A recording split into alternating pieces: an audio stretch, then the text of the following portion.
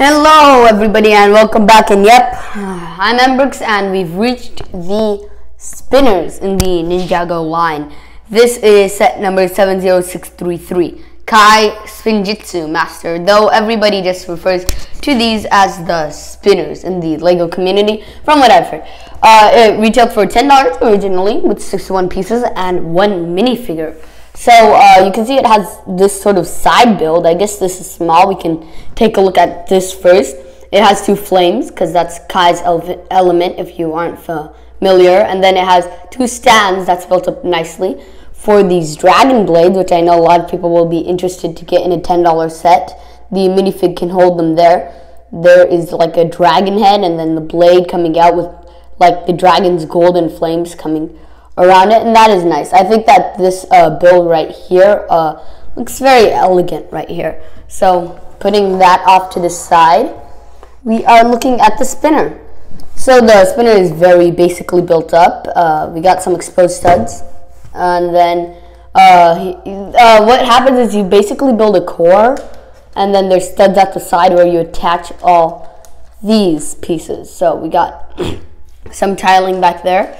Uh, that's sort of Kai's um, emblem or logo, whatever you want to call that. And we have some golden pieces here. A lot of the spinners are built alike. For example, another spinner not included in the set is Kai, uh, is Cole's, and you can see just the colors are swapped out and the logo. So anyway, the way these work is, by the way, you see all these scratch marks on it? Yeah, that's from me playing with it. Okay, you're gonna get a clear, nice one as soon as you open the box. If not, Lego should refund you.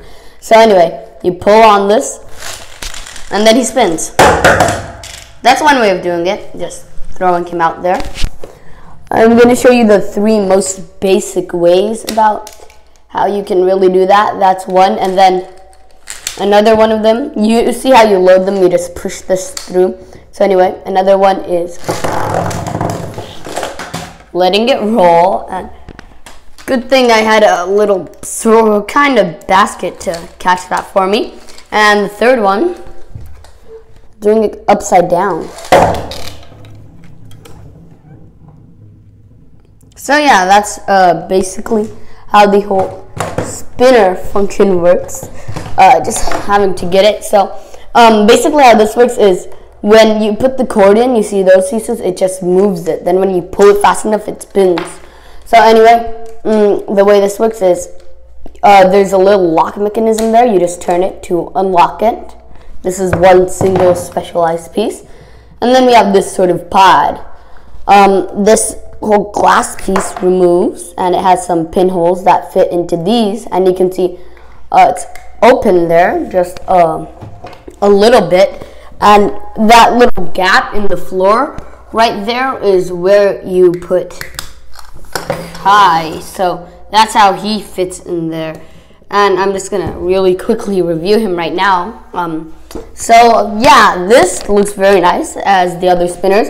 You can't really fit his uh, swords in there because he is a um, because like the pod doesn't have space for that, so they include two shurikens, which I think, oh, sorry about that, are nice. The certain if you didn't know, came in a pack of two, so in the set you get two extra of those, which is nice.